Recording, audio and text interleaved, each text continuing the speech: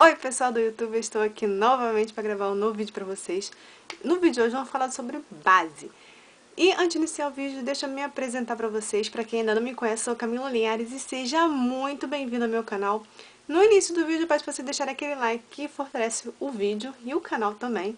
E também se inscrever no canal, que é muito importante nesse botão vermelho aí embaixo. Gente, se inscreva porque é muito importante. Vamos falar sobre base. A base de hoje é essa base aqui da Boca Rosa, tá? É uma base que eu vejo muita gente falando bem, falando mal, como de todas as marcas que a gente vê na internet, né? As pessoas falam, umas pessoas gostam, as pessoas não gostam, né? Tem eles motivos que fazem a pessoa gostar ou não da, da base, né? É, tipo de pele, como tá a pele, né? Se é verão, se é inverno, também modifica muito.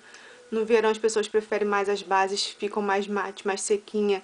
No inverno, como a pele já tá mais sequinha, as pessoas preferem bases mais hidratantes. Então, isso influencia muito, né? Mas vamos ver, né, como que vai sair esta base aqui. Ela é uma base que diz que é de alta cobertura, longa duração, resistente à água. Ela contém 30 ml e eu paguei nela R$ 47,90 no site da C&A. Comprei pelo aplicativo e não paguei frete, então foi só mesmo o valor da base, tá?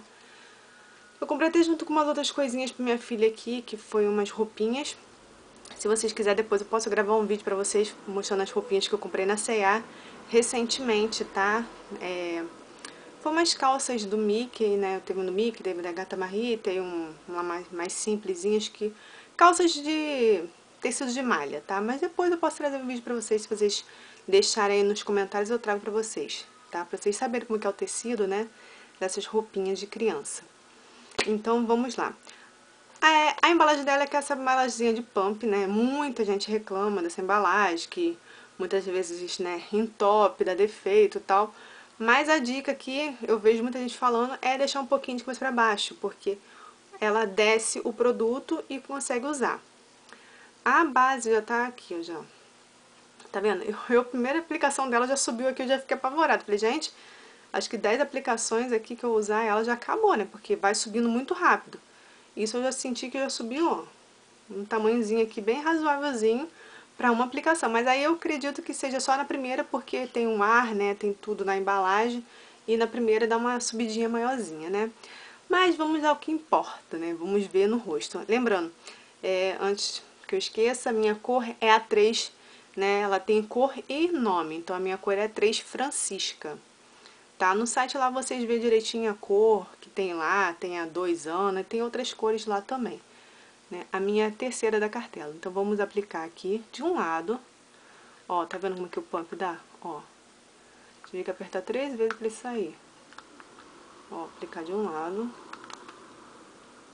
Ó, ficou um pouquinho sujo aqui, vou botar aqui na testa, pedacinho aqui. Tem que apertar bastante. Essa aqui é bem densa. Eu comprei recentemente, mais pela textura dela aqui, eu já percebo que eu acho que não é essa base da fórmula nova, é a fórmula antiga ainda. Por ela tá assim. A base, a base, a esponja está úmida e é da Marissaad, tá bem fofinha ela, gente. Tô amando essa esponja.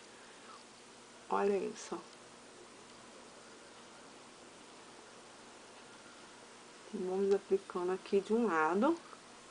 Vou aplicar aqui também na área dos olhos, coisa que eu não faço. É, lembrando, para quem está vendo essa resenha, primeira resenha que está vendo no meu canal, eu não passo nem, nem primer e nem hidratante. Por quê? Eu sempre explico isso em todas as minhas resenhas. Porque se eu passar um primer mais hidratante e na outra base eu passar um primer é, mais sequinho, vai dar diferença na textura da base, tá? Então eu prefiro passar sem nada, mesma coisa o hidratante, se eu botar um hidratante com mais hidratante ou mais emoliente, mais grossinho em gel, vai dar diferença na textura da base, na consistência, na durabilidade, então eu prefiro que vocês testem. Aqui eu tô testando só se a base realmente cobre, se ela craquela, o comportamento dela no rosto, tá? Agora, com certeza ela vai durar mais se você passar um, um hidratante bom e um primer, mas aí você passa da sua preferência, né? Ó. Vou assentando ela aqui. Passei desse lado de cá, ó. E olha a diferença, eu já consigo notar bastante a diferença, tô vendo aqui no espelho. Aqui eu tenho umas manchas aqui, ó. Vocês estão conseguindo ver aqui? As manchas também fraquinhas, né? Que eu tô removendo elas com o produto. Ó, a cor é a minha mesmo, ó. Tá vendo aqui meu pescoço? A cor tá certa pra mim. E olha como que tá a diferença, gente. Olha isso. Olha isso. Ela tá grudando um pouquinho porque tá molhada ainda, tá? Mas analise a diferença da base. Muita, né? Eu já senti, ó, sem franzir, que ela já marcou aqui, ó. Ó, aqui onde tá a linha aqui. Mas já deu uma leve marcada aqui. Acabei de aplicar. Nos olhos, ó. Tá começando a acumular, mas é a coisa normal, né, gente? Não passei hidratante, não selei, não fiz nada. Então, é muito normal acumular. Vou passar do outro lado. O pumpzinho também dá uma leve entupidinha devido a... Eu passei até no cabelo. devido também à densidade da base também, né? Porque ela é bem grossa. Então, isso também, né, contribui a dar uma leve entupidinha. No... Aqui no pump, né, da base. Tem gente que gosta muito desse tipo de embalagem devido a conseguir usar todo o produto da embalagem sem ter muita dor de cabeça, mas gente, a bisnaguinha fica de cabeça para baixo. Então assim, eu consigo usar até o final. Raro conseguir usar até o final porque muitas das vezes a base acaba vencendo antes de eu conseguir usar. Mas, olha aqui, gente, acumulou bastante aqui, ó. Deu uma leve craquelada, né? Olha aqui. Vou tentar consertar aqui pra ver. Ó, consertei, tá vendo? Vamos ver se ela vai voltar a fazer aquilo de novo. Então, assim, a embalagem, né, eu prefiro as a de bisnaga, né? Ela fica de você pra baixo e pra mim dá pra usar do mesmo jeito, essa daqui também.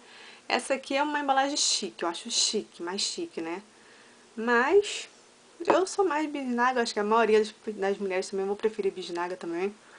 Podemos botar aí que uns 70, 80% das meninas vão preferir bisnaga, né? Mas a gente pode ter as duas, então tem as duas. Não tem problema. O, problema, o importante mesmo é o produto, né? O produto ser bom. Não importa se ele é bisnaga, se ele é pump, mas o pump tem que funcionar, né? Então vamos lá, ó. Já tá sentindo que tá acumulando aqui no bigode, ó. Tá vendo aqui? Um arquinho. Tá acumulando aqui no bigode. Ela cobriu, cobriu aqui, ó, muito bem. Eu senti que ela cobriu muito bem as manchas, que minhas manchas estão meio roxeadas, então as roxas são bem mais difíceis, até mais que as vermelhas, né? Ó, a cor, que eu, eu tô muito perto da luz, vocês estão vendo até muito clara. Mas a cor tá pra mim, tá, ó. Então, minha cor mesmo. Aqui olhando no espelho tá certinho. Parece até que eu tô sem base. Ó, mas tá acumulando bastante. Tá vendo aqui? Tô sentindo que tá acumulando nos olhos. Também. Mas é um natural, porque, como vou explicar novamente, estou sem primer e sem hidratante. Mas a base não é ruim, tá? Ela não é muito indicada para quem tem pele madura, né? Assim como a minha tá indo para pele madura. Então, assim, pra me usar, eu tenho que usar com um primer bem hidratante e com um hidratante hum, bem hidratante também. pra poder conseguir, porque eu tô sentindo que ela tá secando, parece que ela tá sendo, é, tá uma textura tipo como se fosse tinta de parede, tá um negócio meio dando uma leve repuxadinha. Por quê? Ela é uma base para poder ter um, um, uma alta cobertura, mate, então é bem seca. Então para ela ficar ali, né? E a gente tem que selar com pó, porque eu tô sentindo que tá grudando. Então ela vai ficar mais seca ainda. Então, para usar esses tipos de base, assim, igual essa, tem que ser com um primer hidratante e com, né, um hidratante bem hidratante. E, gente, essa é a minha resenha de hoje pra vocês, tá? Deixa eu franzir a testa aqui, acho que eu esqueci, né? Deixa eu franzir pra vocês aqui.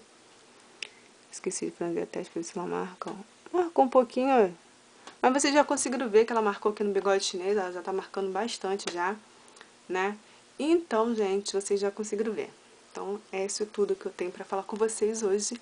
E essa é a minha resenha de hoje pra vocês. E eu peço pra novamente vocês deixarem aquele like que fortalece o vídeo. E também se inscrever no canal nesse botão vermelho embaixo. Gente, se inscreve, não custa nada. É só você clicar no botão e tá escrito. e eu fui.